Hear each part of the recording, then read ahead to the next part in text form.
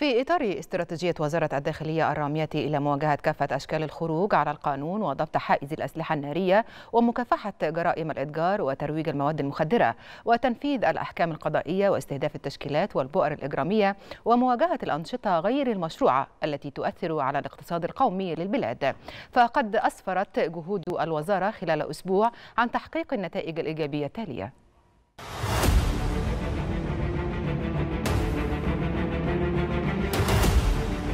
جهود متميزة لأجهزة وزارة الداخلية على مستوى الجمهورية خلال أسبوع. حققت خلالها الأجهزة الأمنية نجاحات كبيرة في مكافحة شتى صور الجريمة.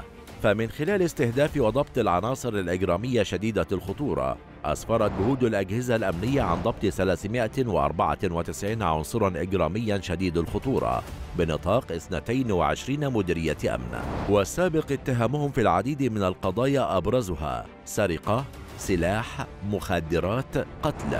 وضبط معهم 203 قطع سلاح ناري وكميات كبيرة من الطلقات مختلفة الأعيرة والمواد المخدرة. وفي مجال استهداف البؤر الإجرامية شديدة الخطورة بمنطقة بحيرة منزلة بنطاق محافظات دمياط وبورسعيد والدقهلية. ومنطقة السحر والجمال بنطاق محافظتي الشرقية والإسماعيلية. تم ضبط 71 متهما وضبط معهم أسلحة نارية ومواد مخدرة.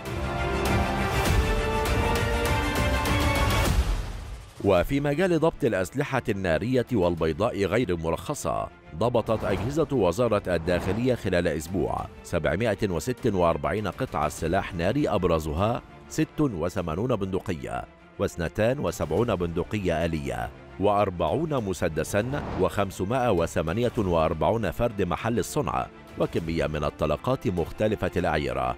و87 خزينة إضافة ل 1127 قطعة سلاح أبيض. وترسيخا لمبدأ سيادة القانون. نجحت أجهزة وزارة الداخلية في مجال تنفيذ الأحكام. في تنفيذ 463935 حكما قضائيا من بينهم.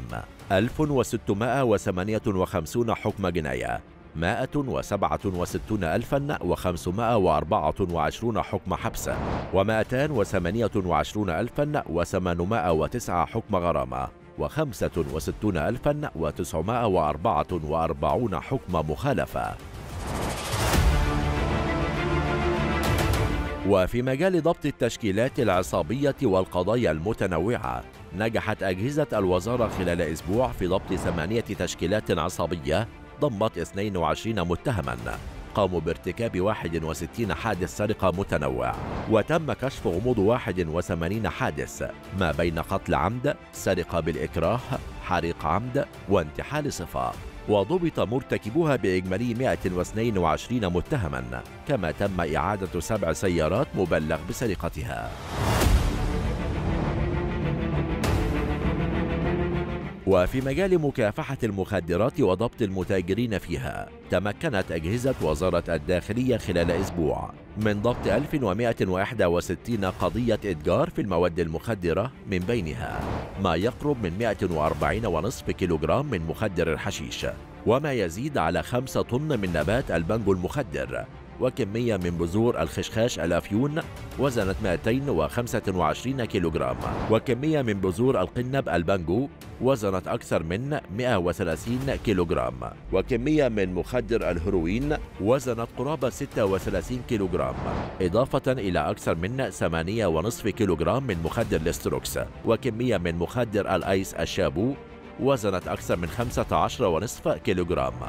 وعدد 9266 قرص مؤثر و70629 قرص ترامادول مخدر. كما تم إبادة 65 فدان منزرعة بنبات القنب البنجو هذا وتقدر القيمة المالية للمواد المخدرة بحوالي 194 مليون جنيه وتم ضبط أربعة مراكز غير مرخصة لعلاج الإدمان كما تم ضبط قضيتي غسل أموال. قدرت قيمة الممتلكات فيها بقرابة 12 مليون جنيه متحصلة من الإتجار غير المشروع بالمواد المخدرة.